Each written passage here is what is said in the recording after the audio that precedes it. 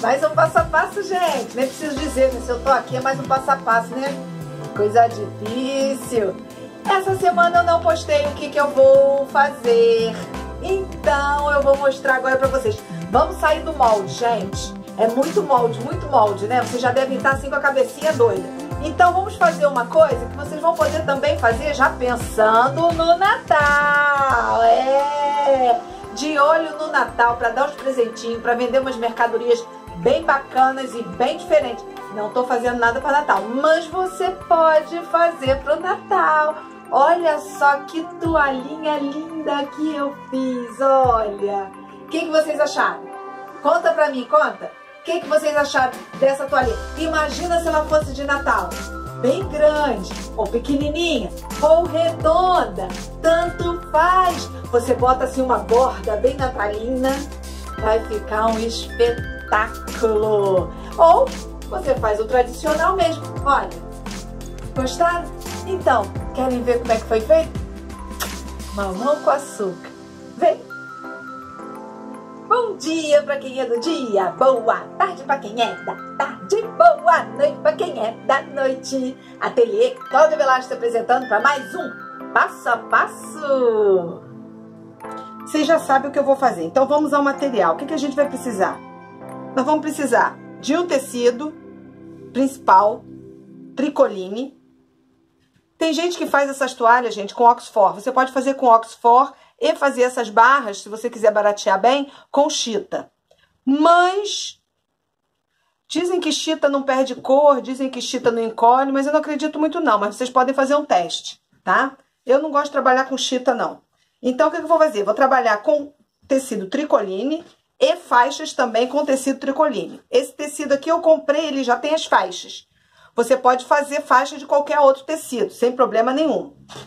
Qual a largura da faixa? Isso aqui, essa faixa aqui, ela tem 14 centímetros de largura, tá? Por 14 centímetros de largura por largura do tecido. Isso aqui é um quadrado, gente. Quadrado. Então, ele tem 75 por 75. Então, você vai cortar quatro faixas de 75, tá? De comprimento, ó quatro faixas, 75 de comprimento por 14 de largura. E nós vamos fazer uma moldura, tá bom? Como é que fazemos isso? Vamos pegar aqui dois, ó. Não tem nada complicado, gente, facinho, ó. Direito do tecido, com direito do tecido, vamos colocar um em cima do outro certinho aqui, tá? E puxar pra cá, ó. Segura aqui e puxa pra cá. Viu? É isso que você tem que fazer. Esse biquinho aqui, ó.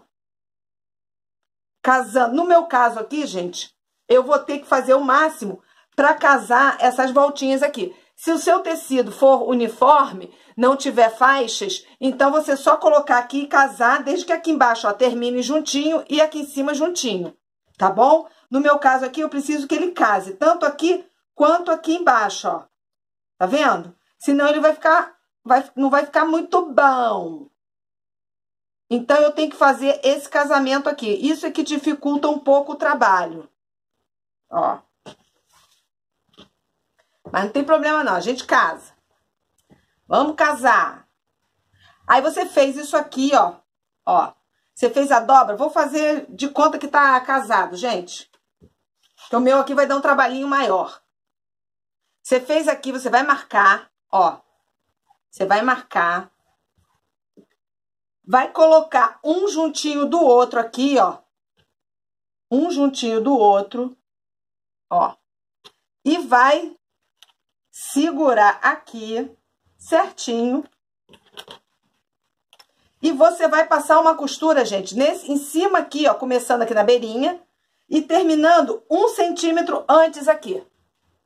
Você não é para vir até cá embaixo. Você vai terminar um centímetro antes aqui. Se você quiser, marca com uma canetinha para você saber aonde é que você vai parar, tá? Você vai parar, ó, um centímetro um pouquinho antes, tá?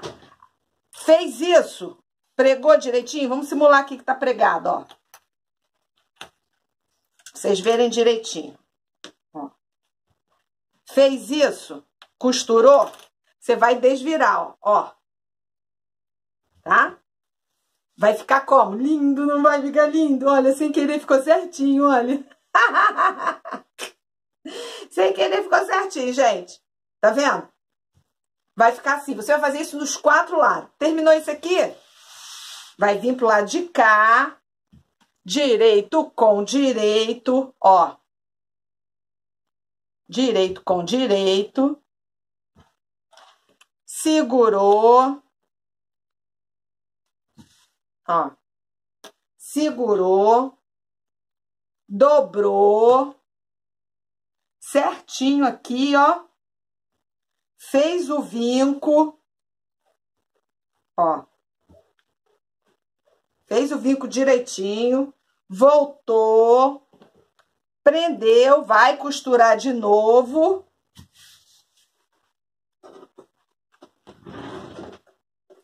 Vai deixar sobrar aqui, ó, um centímetro aqui antes de costurar. E vai passar a maquinazinha aqui. Fez esse, não fez? Costurou, vamos lá. Vamos fazer as simulações todas, ó. Costurou. Vai soltar aqui. Vai vir aqui, ó. O meu não tá casando, gente, mas depois que passa na máquina, casa direitinho. Fez aqui, não fez? Virou, ó. Direito com direito, mesma coisa, gente. Tá vendo como é que é fácil? Ó, prendeu, virou, ó, marcou, costurou. O pulo do gato vem agora, gente. Ó, prendeu aqui, né? Costurou. Ó. Tá certinho, bonitinho. Na hora de prender essa última faixa aqui, gente, é isso que vocês têm que estar atento, olha. Muita gente não dá esse pulo do gato, você costura e faz errado. Você tem que abrir o seu quadro. Pra quê? Pra que não fique é, torto na hora que você vai prender, ó. Ó, abriu o quadro, não abriu? Ficou assim, ó. Ó. Certinho. Ficou assim, bonitinho? Então, o que, que você vai fazer? Pegar esse aqui e, ó, e virar pra cima dele, ó. Isso.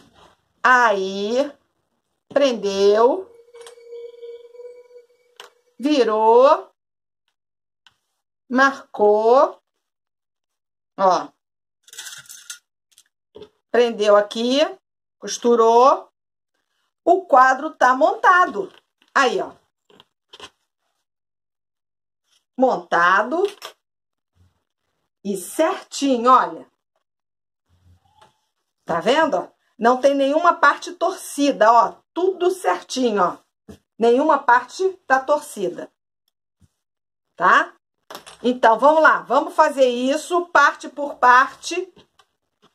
E já volto para mostrar para vocês. Pronto, turma. Minha moldura já tá feita. Aqui, gente, vocês abrem, que a costura fica assim, né? Vocês abrem, batem o ferro de um lado e do outro para ficar bem esticadinha, tá bom? Olha, me deu uma dor de cabeça fazer isso aqui. Ah, não ficou muito bem casado não, tá vendo? Porque o tecido, ele não é certo. Então, vai ficar assim mesmo, pouquinha coisa, ó. Pouquinha coisa que não tá casada. Então, vamos lá. O que, que você vai fazer, ó? Tecido de baixo que a gente cortou, 75 75. Nós vamos colocar essa moldura aqui, ó. Limitando aqui, ó. A faixa, os cantinhos todos certinhos, ó. Vamos prender ela todinha na sua extensão, ó. Essa, gente, é uma forma de fazer. Mas você tem outras formas de fazer isso aqui tá? Ó. Presinho. Nós vamos passar uma costura aqui, ó. Não muito pra cá, o mais perto que você puder aqui, só pra segurar o tecido. Porque depois nós vamos finalizar com o viés. Pra ficar mais bonito. Tá? Então você vai prendendo. Gente, não deixe de compartilhar. Não deixe de se inscrever no meu canal, de tocar o sininho para ativar as notificações. Tá? E de dar muito like. Gostou? Dá like. Não gostou? Dá like também, gente. Dá dislike não, que eu fico triste. Muito triste com dislike. Tá? Vou prender isso tudo aqui. Vou passar uma costurinha aqui, ó. Bem na beirinha aqui, ó. E já volto para mostrar para vocês como é que ficou.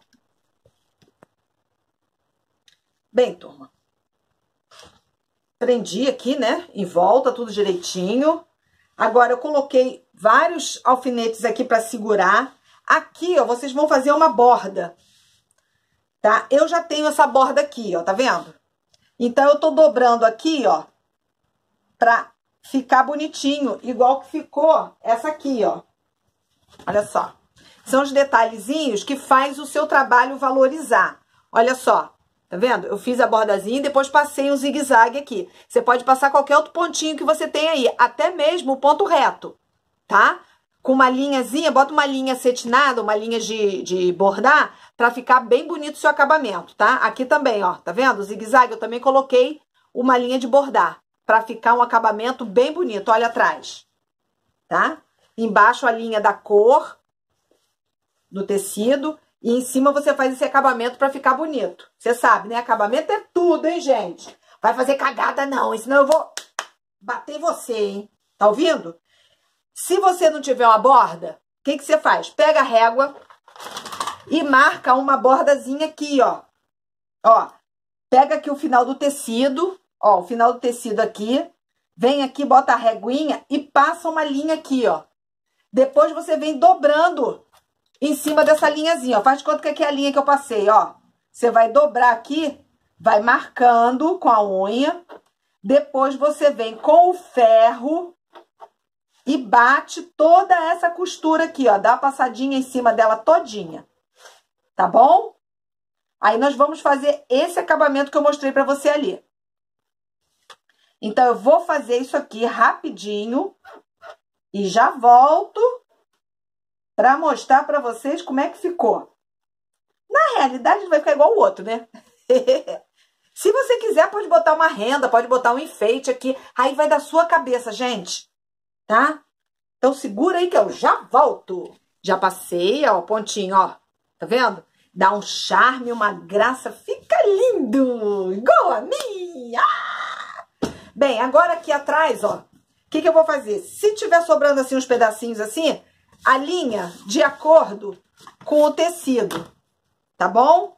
Ó, vou tirar esse excesso aqui, porque senão ele vai influenciar na hora que eu colocar o viés, ó, tá? Esses pedacinhos aqui, se tiver, se não tiver sobrando, beleza. O meu, como saiu um pouco do padrão, porque eu tive que, que consertar essas marquinhas, então deu esse probleminha. Então, agora nós vamos passar viés aqui. Gente, quem não sabe passar viés, eu vou deixar aí nos meus cards, tá? O vídeo que eu tenho de passo a passo como passar viés. É só vocês acessarem, é muito rapidinho tá? Vocês acessam aí para poder colocar o viés aqui. Segura aí que eu vou colocar o viés e já volto. Terminei, terminei, acabei mais um passo a passo. Você quer ver, né? Não quer? Então vamos ao que interessa, porque está bom a beça! Gente, ó, não deixe de dar like, não deixe de compartilhar, não deixe de se inscrever, não deixe de tocar o sininho para ativar as notificações. Qualquer coisa você posta aí embaixo, tá? Gente, olha só. É, se eu não respondo alguém, me desculpa, mas é muita mensagem chegando, então às vezes alguma passa desapercebida, tá? Mas você insiste, insiste que eu respondo. Bota assim, Cláudia, tô tentando falar com você, responde! Aí eu respondo vocês.